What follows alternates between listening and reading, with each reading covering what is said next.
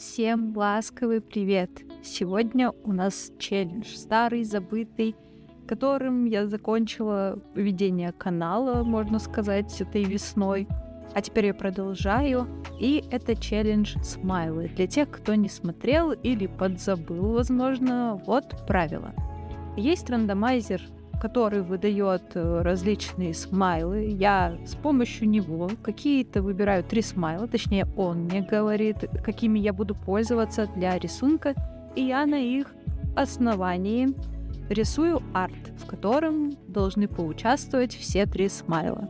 В прошлый раз это было сердечко, это был какой-то смайлик с задумчивым взглядом, и э, что-то еще. Я уже забыла на самом деле, что еще. Если что, ссылочка на это видео будет также в описании. В этот раз мне попались смайлы фиолетовое сердечко, да, снова сердечко. Тут не удивил рандомайзер, к сожалению. Потом это закат и лимон. Вот насчет лимона и заката у меня сразу начали возникать такие теплые образы. Наверное, кстати, может быть, это рассвет, но мне почему-то думается, что это закат. И тем более уж лимон с закатом очень хорошо сочетается. Такие солнечные, желтые цвета яркие. А насчет образа, который возник у меня в голове, сначала он был другим, не таким, какой вы видите сейчас я сначала задумала нарисовать какой-то лимонный сад. Уж не знаю, где такие сады, может быть в Испании, в каких-то теплых краях, в том числе я знаю, что в Абхазии выращивают лимоны. И я бы с удовольствием побывала в тех краях, вот именно во время, когда собирают урожай. Очень хотелось бы поучаствовать даже в таком мероприятии. Тем более на природе трудиться даже очень приятно, конечно, есть свои какие-то неприятные моментики, но зачем о них думать, когда я еще даже не полетела туда, где участвовала бы в этом мероприятии. Ну да ладно. В общем, хотела я изобразить э, цветущий сад. И там, оказывается, еще на смайлике помимо заката есть горы, которые я, кстати, в первоначальном скетче упустила. И, в общем, вот сам этот закат, и на него смотрели бы маленькая девочка, собачка и два котика, одного из которых она бы обнимала. Собственно, я, наверное, здесь сейчас ставлю скетч, который изначально у меня получился. Но я подумала, что мне не будет интересно это раскрашивать. Увы, я придумала идею, которая мне по итогу не очень понравилась. Что-то такое не мое во всем этом было, и я остановилась все-таки на образе девушки. И обыграть лимон я решила также. У меня, собственно, изображен лимонный сад, и также будет и закат. А вот э, сердечко фиолетовое как-то не очень сюда вписывалось, потому что это больше какой-то абстрактный предмет, а не какой-то предметы жизни, и я долго не понимала, куда мне его поместить на рисунке. По итогу я решила украсить им платье девушки, которая изображена. Гамма, в которой у меня получился рисунок, мне очень нравится. Все такое солнечное и летнее, а уж тем более сейчас, когда скоро, совсем скоро нужно прощаться с летом и наступает осень. Ну, кстати, такая же золотая, как и те цвета, которые у меня на рисунке. И было очень приятно работать с такими цветами. И даже девушке я решила добавить оранжевые, рыжие волосы. Ну, чтобы уж до конца все было таким приятным и теплым. Про этап раскраски мне особо нечего сказать. Это больше такая медитативная часть, как раскраски в детстве, когда контур уже нарисован, ты просто себе закрашиваешь, и каждая линия, которая заполняет, приносит какое-то удовлетворение. А вот этап, когда уже карандашом я наношу штрих, штрихи, какие-то детали, уточняю, вот это моя любимая часть. Именно тогда ты видишь, что не все потеряно, и рисунок, возможно, выйдет даже красивым. Так и было в этот раз, так как, повторюсь, это было на скорую руку, и ну, много чего мне не нравится в лайне, как получилось. И, возможно, даже идею я могла бы как-то более интересно обыграть, особенно на фоне последнего видео с Pinterest. Но все-таки три смайла для идеи для меня как-то, наверное, может маловато. Поэтому и тут попроще получается. А вот в Пинтересте там каждая деталь уже расписана, и ты просто сопоставляешь все. Получается более насыщенная, что ли, картинка. Но и такие простые арты, я думаю, тоже нужны. И, наверное, они даже больше служат для оттачивания каких-то навыков, например, тот же line делать. Ну, не в этот раз, конечно, не обращайте особо внимания, но именно когда хочешь что-то определенный повторить какой-то элемент или тот же вот действительно line сделать, то ты просто берешь маленькое изображение и доводишь его до идеала. Хотя я слышала мнение, что наоборот большие работы позволяют э, более развивать быстро э, то, что ты хочешь, но мне не нравится эта идея, потому что, скорее всего, просто большую работу я заброшу и до конца не доведу. Уж тем более сталкиваясь постоянно с мыслями о том, что надо сделать идеально и так, как надо по правилам, а у меня что-то не получается. Вряд ли мне это принесет удовольствие. Насчет лайна я решила остановиться на том же варианте, который был в первом видео по этому челленджу, э, сделать его черным, что вообще-то ну, редко встречается на моих работах. До недавнего времени, точнее, встречалась, потому что последняя моя работа по Пинтересту тоже с черным лайном. И использовала я выравнивание автоматическое для линий, но не везде. Например, это выравнивание мне совсем не на руку играло бы там, где я рисовала какую-то растительность и кустики всякие, травку. Мне не сказать, что прям супер понравился такой лайн, как он смотрится без раскраски, и не до конца я была в нем уверена, но и особо ничего менять я не хотела, потому что на самом деле, признаюсь, я делала этот арт на скорую руку. Почему-то я затянула со съемкой этого видео, и мне не хотелось останавливаться. У меня какая-то сейчас задача стоит для каналов просто побольше, почаще выпускать видео. Если я заторможу сейчас, то, возможно, снова у меня будет какой-то большой перерыв. Также я хотела сердечко вот это использовать для украшения платья. И, соответственно, платье хотела сделать фиолетовым, но мне не понравился этот яркий цвет, и так все слишком броское на рисунке, и желтые закаты, желтые лимоны, такая зеленая, кислотная трава, потому что я выбрала яркие оттенки, так как солнце все-таки падает и освещает всю эту травушку-муравушку, которая, конечно же, будет яркой. Она не будет какой-то приглушенной. Это не день, это даже не вечер. Но мне не понравился вариант с платьем, я решила его сделать посветлее. Немного напоминает это из челленджа Pinterest девушку, но все-таки я скажу, что мне даже, наверное, больше понравился этот вариант так как в этот раз я не заморачивалась над прорисовкой деталей и с аккуратностью у меня, конечно же, тоже проблемы. Снова у меня возникли проблемы с прорисовкой рук, и я снова ничего не стала исправлять, пускай остается так, как есть. И фон тоже я сделала максимально простой. Мне нравится таким способом прорисовывать растительность, не уточняя детали.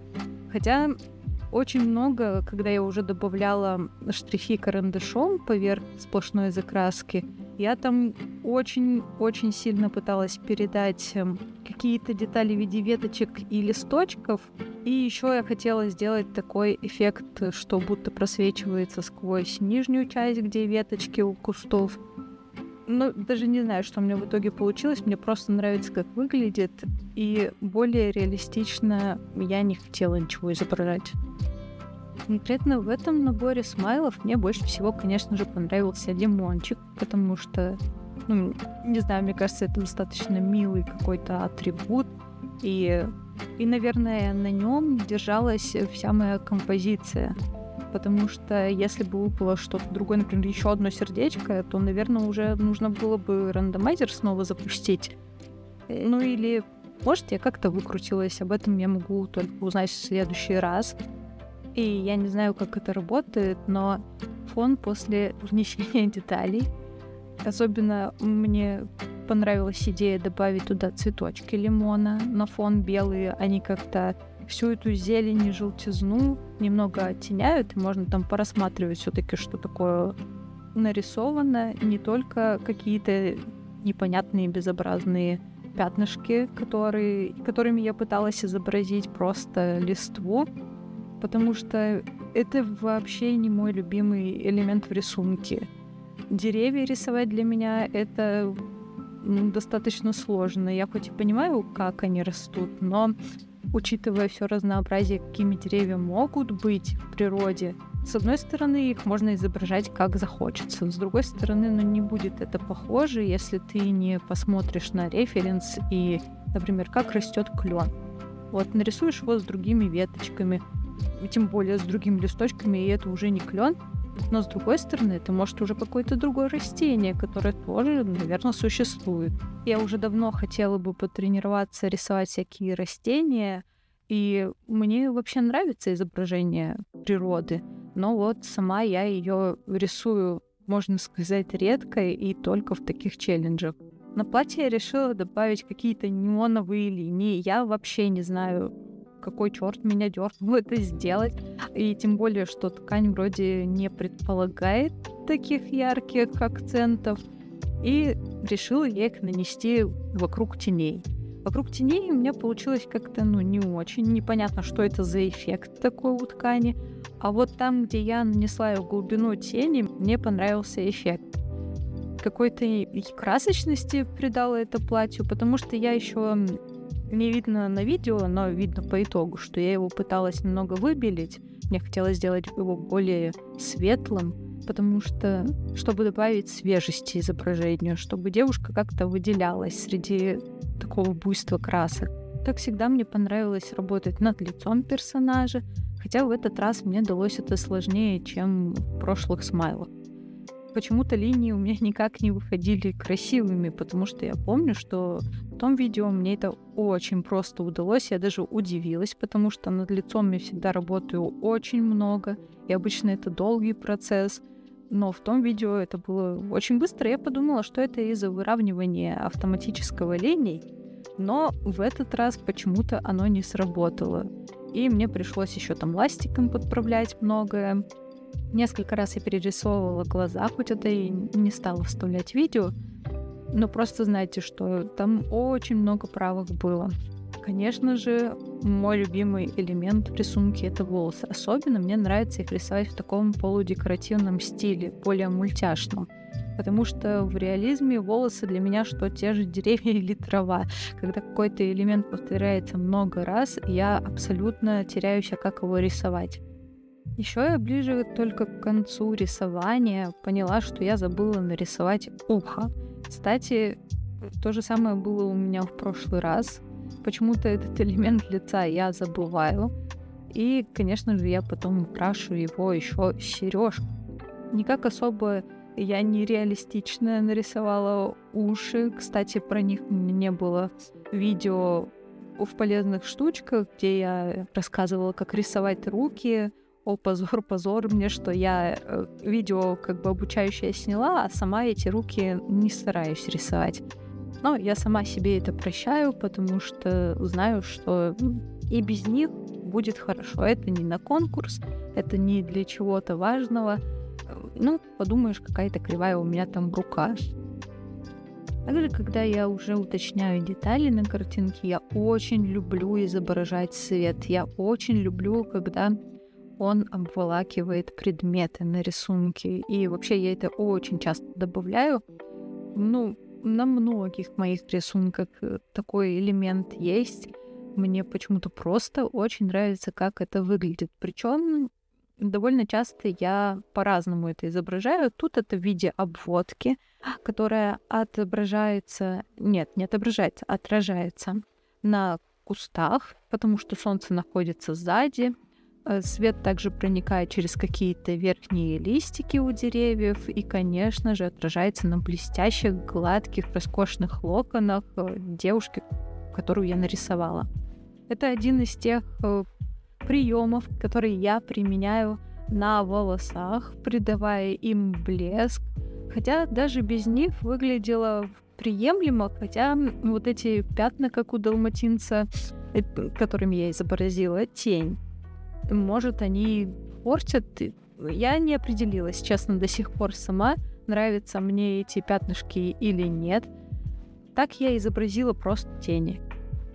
В принципе, когда я смотрю на всю работу в целом, они абсолютно никак мне в глаза не бросаются, что что-то не так с волосами, поэтому я считаю это приемлемым. Также, пока видео не закончилось, я напоминаю вам, что у меня теперь есть игровой канал Шумшу играет. Также у меня появился канал на Дзене, на котором сейчас будет выходить э, прошлогодние видео по октябрю, потому что некоторые его не видели. Точнее, там целая серия видео. И это будет просто напоминанием о прошлогоднем прекрасном первом моем завершенном челлендже. В этом году, возможно, будет новый какой-то, я еще не определилась. Может быть, это даже будет Инктобер. Ну, посмотрим, пока я ничего не загадываю.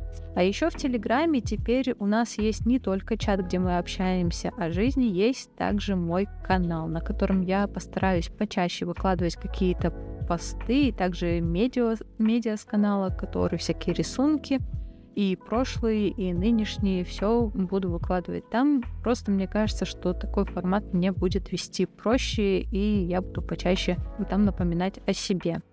Еще я решила вам показать, не знаю, удачные или неудачные решения. В общем, сначала мне хотелось добавить облака. Облака на небо в закате. Я недавно, когда рассматривала разные изображения и фотографии, поняла, что облака бывают не только светлыми, а вообще они бывают чаще темными, если солнце располагается за ними. И я решила этот прием попробовать на своем рисунке. По итогу мне не очень понравилось. Я пыталась как-то выровнять эту ситуацию, но что-то какими-то лишними они мне по итогу показались. И самым верным решением, конечно же, лично для меня было добавить снова звездочки, так как это закат, то они, в принципе, могут находиться уже на небе. Мы-то и днем наблюдаем Луну и некоторые особо яркие звезды но без звездочек я вообще никуда. Напоследок, уже перед завершением рисунка, я немного поиграла с тенями на платье, потому что оно мне казалось слишком темным, и я придала ему более синий оттенок в тенях и сделала посветлее. По итогу мне такой вариант больше понравился, потому что я проверила с предыдущим, и для меня этот вариант более светлый оказался более подходящим собственно, вот такой солнечный, можно сказать, уходящий летний арт у меня получился по этим трем смайлам. Я очень довольна результатом, хотя это было на скорую руку, пусть это прозвучит как оправдание, и хоть это было очень сомнительно в некоторых моментах, особенно на моменте с обводкой, которую я сделала абы как, но как будто бы добавление деталей карандашом чуть-чуть подправило ситуацию. И мне даже кажется, что это выглядит как какая-то мультяшка теперь.